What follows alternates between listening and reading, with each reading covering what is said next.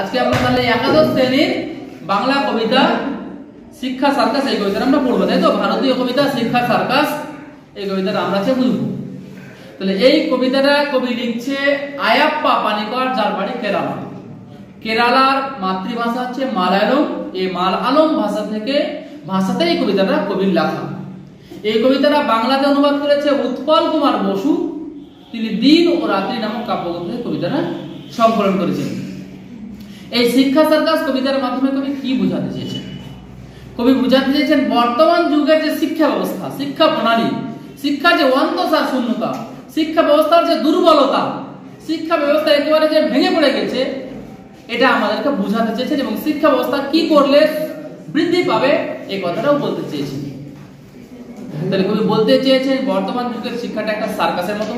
আমরা এক শ্রেণি থেকে আর এক শ্রেণি শুধুমাত্র উত্তীর্ণ হই, কিন্তু প্রকৃত শিক্ষা শিক্ষিত হই না। শিক্ষাটাকে শিক্ষাকে আমরা বাস্তবায়ন করি না, কথা বলছি কেন? শিক্ষাকে আমরা বাস্তবায়ন করতে হবে আমাদেরকে। প্রকৃত শিক্ষায় শিক্ষিত হতে হবে, নাহলে আমাদের জ্ঞানটা ধোকায় পরিণত হবে।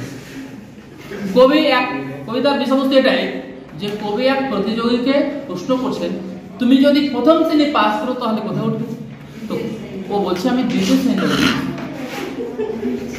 তুমি যদি দ্বিতীয় শ্রেণি পাস করো, তাহলে বলছে আমি তৃতীয় শ্রেণীতে উঠবো। তুমি যদি তৃতীয় শ্রেণি পাস করো, তাহলে চতুর্থ শ্রেণীতে তুমি যদি চতুর্থ শ্রেণি পাস করো, তো ও ছেলেটা বলছে পরের শ্রেণীতে উত্তীর্ণ হব। তার মানে বাচ্চা ছেলেটা ও আর সেভেন এইট নাইন টেনের নাম আর বলতে পারে। কবি এই প্রশ্ন করার পরে বুঝতে পারলেন যে শিক্ষা ব্যবস্থা সব একটা ধোকায় পরিণত হয়েছে, একটা সার্কাসের মতো।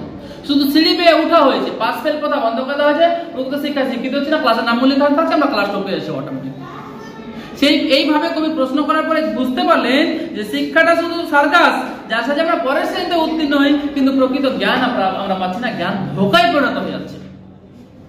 সুতরাং আমরা সুরভে ঠাকুর শিক্ষাকে বহন করতে পারি, কিন্তু বাহন করতে পারি না। আমাদেরকে শিক্ষায় শিক্ষিত হতে হবে, প্রকৃত শিক্ষায় শিক্ষিত হবে, শিক্ষায় শিক্ষিত হয়ে আমাদেরকে বাস্তবে কাজে লাগাতে হবে। শিক্ষার বাস্তবায়ন ঘটাতে হবে, মানুষকে ভালোবেসে চলতে হবে। শিক্ষাটাকে আমরা যেন বাস্তবমুখী করে তুলতে পারি, এই কথাটা আমাদেরকে বোঝাতে চেয়েছেন। নাহলে আমাদের জ্ঞান ধোকায় পড়তে হবে, কিন্তু আমাদের এই শিক্ষায় শিক্ষিত হয়ে এই কথাটাই আমাদের বোঝাতে চেয়েছেন যে আমরা যেন প্রকৃত শিক্ষায় শিক্ষিত হতে পারি।